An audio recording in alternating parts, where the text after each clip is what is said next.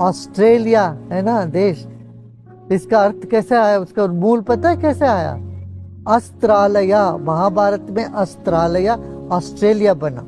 वहाँ पर रखा हुआ था, कहते सारे जो पावरफुल वेपन्स इसीलिए आज भी ऑस्ट्रेलिया के बीचों बीच पूरा मरुस्थल है। तो साइंटिस्ट कहते हैं, लगता है कई हज़ारों साल पहले यहाँ कोई न्यूक्लियर बॉम्ब ब्लास्ट हुआ होगा।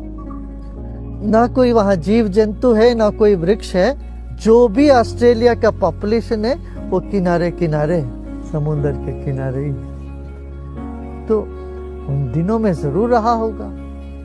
अच्छा ना भी रहा हो, कल्पना तो रही उसकी। मैंने वो कल्पना से तो सब निकलता है पहले।